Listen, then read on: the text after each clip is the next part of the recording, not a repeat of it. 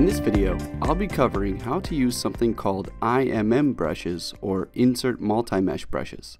These brushes will give you the ability to use pre-built meshes to very quickly and easily add these to a mesh and speed up your artistic workflow.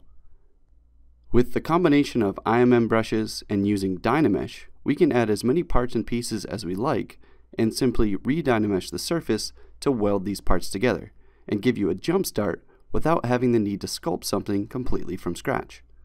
In this demonstration, I'll be using Dynamesh and basic ZBrush Core navigation. Take note that I will also be using symmetry and will be adding parts to both sides of the mesh during the demonstration. If you're unfamiliar with these features, I recommend you check out our videos on zclassroom.com that will properly demonstrate how to use these features before watching this tutorial. To start off, I'm going to make sure that I have a base Dynamesh project to build on top of, so let's navigate to the Lightbox palette by pressing the Lightbox button here, and I'll double click on the Dynamesh 128 Sphere project to load it. If you're still relatively new to ZBrush Core, you've probably started to explore the brush library to see what brush options you have available.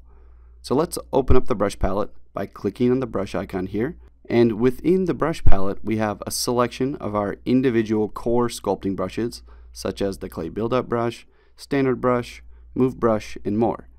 These are individual brushes, and each of these brushes has custom settings for different sculpting effects on the surface. Also in the brush palette, you can see we have three IMM brushes. Each of these IMM brushes is a little different than the other single sculpting brushes because they have multiple parts that exist within the IMM brush in a separate menu.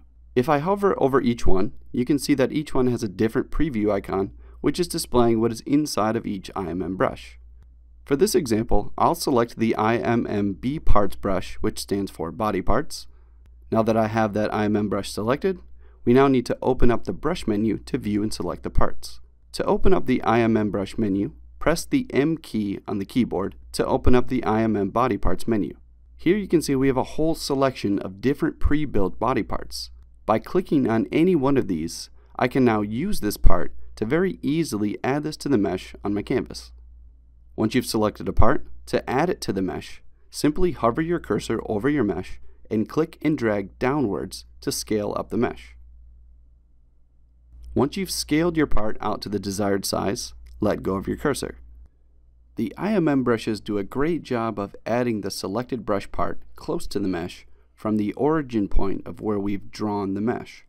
However, depending on the way the insert mesh part is created, some inserts may not intersect and will sit further away from the surface. When using these brushes, the ultimate goal in this workflow is to add the parts we need to speed up our workflow and eventually re-dynamesh the surface to weld these parts together, and then continue to sculpt on the entire surface. To do this, first I must clear the mask. Each time we draw and insert mesh on the surface, ZBrush Core will apply a mask to the underlying surface. To clear the mask, press and hold Ctrl or Command on the keyboard and drag your cursor on the canvas and let go to clear the mask. With the mask cleared, to re-dynamesh the surface, we need to apply the exact same action as clearing the mask so again, press and hold Control or Command on the keyboard, drag your cursor on the canvas and let go. And Dynamesh will now weld the two meshes together. As you can see, when there's a bit of distance between the two meshes, Dynamesh cannot weld the two surfaces together properly and will cause issues when sculpting on the surfaces. If you want to bring the mesh closer to the surface, you have a couple easy options to better position and move this mesh around before we actually apply the Dynamesh process. First, I'll press Ctrl Z or Command Z to undo those actions before dynameshing the surface. The first option we have to position would be to use the Move brush to push and pull the inserted mesh into the sphere's surface. Let's use the Move brush by clicking on the brush palette and clicking the Move brush. I can change the Move brush draw size larger or smaller by clicking and dragging on the draw size slider here. A quicker method to do this is by selecting the S key on the keyboard which will open up the draw size slider wherever my cursor is placed on the canvas, and clicking on the slider control to change the draw size very quickly. Once the mesh is intersecting with the surface, we can now clear the mask and apply the Dynamesh process to weld these two together and continue sculpting on the new clean surface. Each time we add a part from an IMM brush, it will automatically add a mask to the original surface we are building on top of, which is signified by the dark gray coloring on the mesh.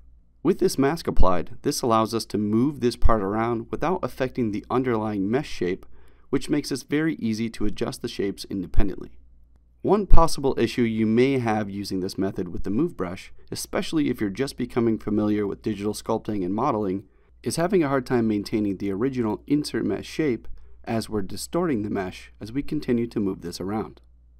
In the next video, I'll discuss using something called the 3D gizmo to allow us to position the insert mesh pieces without distorting them with our sculpting brushes. Thanks for watching, and I'll see you in the next video.